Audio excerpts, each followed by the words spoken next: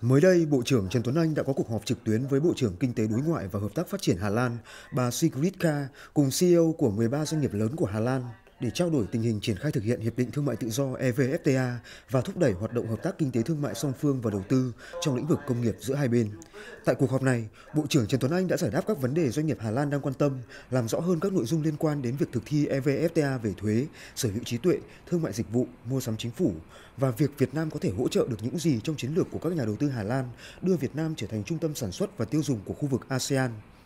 Thay mặt các doanh nghiệp Hà Lan, bà Ingrid Thyssen, Chủ tịch Liên đoàn Công nghiệp và Hiệp hội Giấy chủ Hà Lan khẳng định Việt Nam là thị trường có ý nghĩa chiến lược đối với các doanh nghiệp Hà Lan tại châu Á, nơi các doanh nghiệp Hà Lan thể hiện mối quan tâm lớn và sẵn sàng đầu tư nhiều hơn nữa, đặc biệt là các doanh nghiệp đã có mặt ở Việt Nam. Cảm ơn Bộ trưởng Trần Tuấn Anh đã thẳng thắn trao đổi những vấn đề doanh nghiệp Hà Lan đang quan tâm để tìm ra những giải pháp thiết thực để tăng cường mối quan hệ kinh tế thương mại giữa hai bên trong thời gian tới.